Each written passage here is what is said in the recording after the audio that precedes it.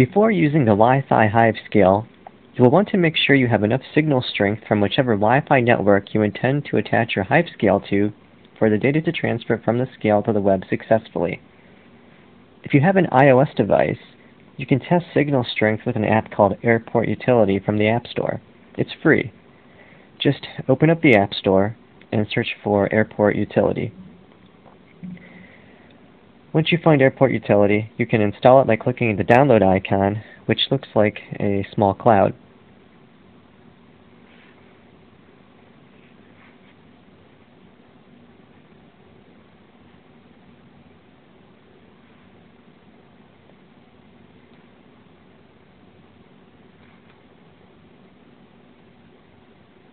Once you have installed Airport Utility, uh, you'll see an option to open the app. Before you open the app, you'll want to enable it on your iOS device. Push the Home button to return to your home screen.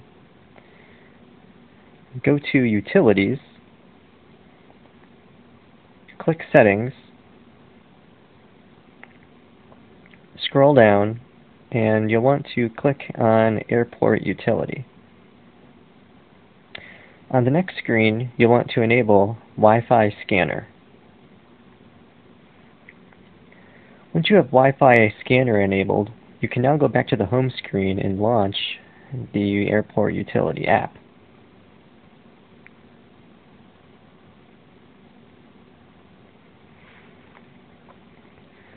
Once the Airport Utility app is running, click Wi-Fi Scan. Next, click Scan.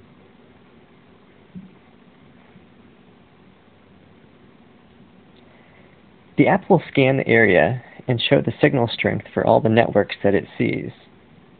Once the scan is complete, press stop to halt the scan to preserve your battery life. In this case, the application sees Netgear 88. The signal strength is around negative 57 dBm. Using this app, you can go out to your apiary and determine if there is sufficient signal strength for the Wi-Fi Hive scale to communicate with the web. If your signal strength is between negative 30 to negative 80 dBm, everything should be fine. Our current signal strength does fall within this range at around negative 57 dBm, so our network environment looks good.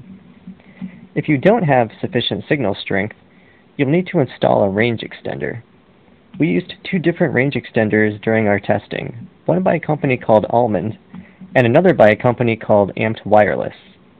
Amped Wireless is our preferred choice as the antenna on their product is not built in and can be replaced with a high gain antenna if necessary, which allows for further increase in range. One benefit of installing a range extender is that it extends the Wi-Fi on your property for other uses as well.